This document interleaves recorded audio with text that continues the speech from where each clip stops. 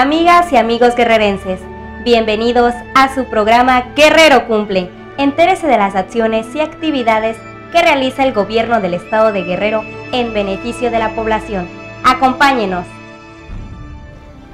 Dentro de los compromisos del gobernador Ángel Aguirre Rivero de llevar internet gratuito a los municipios del estado, gestionó en que se instale este servicio en más de 100 plazas públicas. El gobernador del estado, Ángel Aguirre Rivero, se reunió con Héctor Slim Seade, director general de Telmex, donde acordaron celebrar el Día Mundial de Internet el 17 de mayo, donde anunciarán la puesta en marcha del servicio gratuito de Internet en 100 sitios públicos de la entidad, la conectividad de 46 escuelas públicas de nivel primaria y secundaria, para dar cumplimiento al convenio celebrado por el gobierno del estado y Telmex el pasado primero de abril, también arranca el programa de alfabetización digital. El compromiso de la Fundación Telmex es entregar 280 sillas de ruedas, el pago de fianzas de preliberación de mujeres y hombres con delitos menores. Además, se realizarán implantes de rodillas y 3.000 bicicletas para estudiantes de comunidades rurales. En la reunión realizada en la Ciudad de México, el gobernador Ángel Aguirre Rivero afirmó que con este tipo de compromisos se trabaja para que la población guerrerense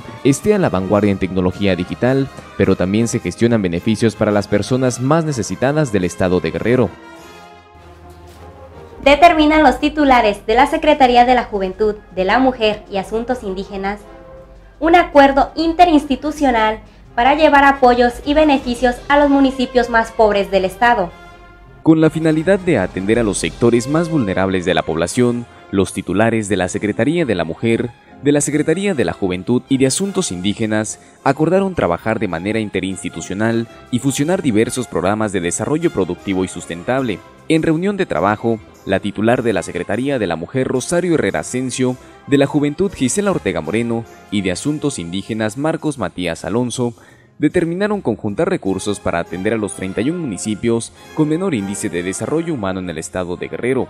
la secretaria de la Juventud, Gisela Ortega, estableció que el trabajo interinstitucional consiste en presentar un proyecto para beneficiar a los grupos más vulnerables. Se mezclarán recursos por 14 millones de pesos en cada dependencia para la creación de proyectos productivos y sustentables. La titular de la Secretaría de la Mujer, Rosario Herrera Asensio, manifestó que en virtud de que existe poco presupuesto, se conjuntarán recursos para atender a las personas más necesitadas, como lo instruyó el gobernador del estado, Ángel Aguirre Rivero, el secretario de Asuntos Indígenas Marcos Matías Alonso expresó que se buscará el apoyo a través de la coordinadora de fortalecimiento municipal, Beatriz Mojica Morga, para elaborar convenios de trabajo con las organizaciones de las Naciones Unidas, gestionar recursos ante el gobierno federal y organismos privados y no gubernamentales.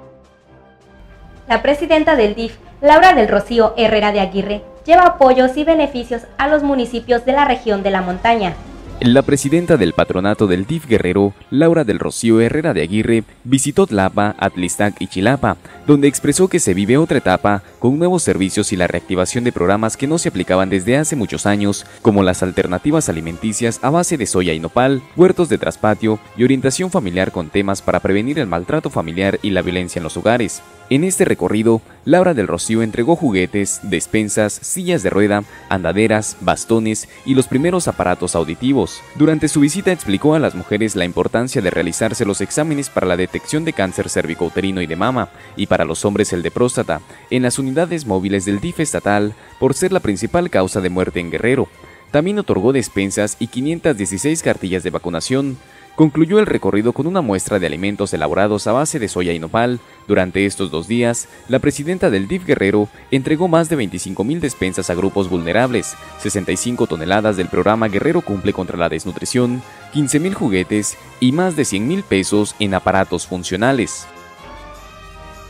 Se realiza ceremonia de toma de protesta de bandera de soldados y mujeres voluntarias del Servicio Militar Nacional.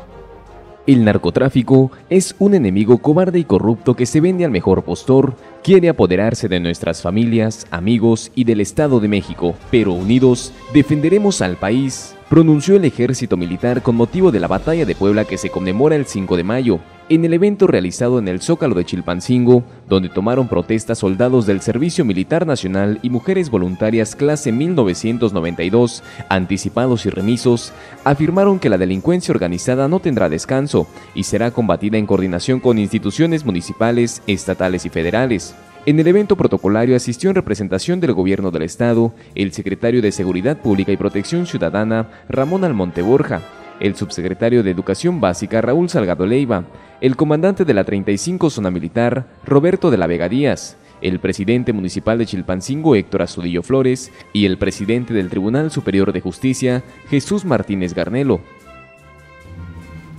El Ejecutivo del Estado, Ángel Aguirre Rivero, gestiona ante la Federación obras y servicios en beneficio de los indígenas. El gobernador del estado, Ángel Aguirre Rivero, se reunió con el director general de la Comisión Nacional para el Desarrollo de los Pueblos Indígenas, Javier Abreu Sierra, con quien acordaron la realización de proyectos relacionados a la transferencia de recursos al estado de Guerrero. En el encuentro realizado en el Palacio de Gobierno, se acordó que se destinarán recursos para la realización de obras de infraestructura, proyectos productivos y albergues escolares en comunidades indígenas por un monto aproximado a los 500 millones de pesos. A la reunión asistió también el delegado estatal de la Comisión Nacional para el Desarrollo de los Pueblos Indígenas, Gonzalo Solís Cervantes, el secretario de Asuntos Indígenas, Marcos Matías Alonso. El Ejecutivo del Estado afirmó que con este tipo de compromisos se atiende a uno de los sectores más vulnerables en Guerrero, la Secretaría de Salud invita a la población a que se realicen el estudio de Papa Nicolau para detectar y combatir el cáncer cervicouterino y de mama. La Secretaría de Salud Estatal informó que durante el 2010 fueron detectadas 2.824 mujeres con lesiones precancerosas que reciben atención en las 7 clínicas de colposcopía que existen en Guerrero y 61 casos que dieron positivo se encuentran en tratamiento en el Instituto Estatal de Cancerología. La doctora Nancy Karina Osorio, responsable estatal del programa de atención al cáncer cervicouterino, indicó que del total de casos con lesiones precancerosas, la Secretaría de Salud, a través del Laboratorio Estatal de Salud Pública, atiende con equipo calificado a las mujeres que dieron positivo en las de diagnóstico y se brinda el seguimiento oportuno de casos probables. El cáncer cervicouterino es causado por el virus del papiloma humano, muy frecuente en hombres y mujeres, y que se transmite por contacto sexual, padecimiento que en la mayoría de los casos no presenta síntomas. La Organización Mundial de la Salud estima también que 8 de cada 10 mujeres se infectará alguna vez en su vida sexual, y que por cada 100 mujeres infectadas, 4 tendrán una lesión que requerirá vigilancia o tratamiento médico. La detención primaria y oportuna de cáncer cervicouterino se realiza mediante la prueba de Papa Nicolau, que consiste en una exploración ginecológica que permite detectar células anormales en el cuello de la matriz antes de que puedan convertirse en células precancerosas o cáncer cervicouterino.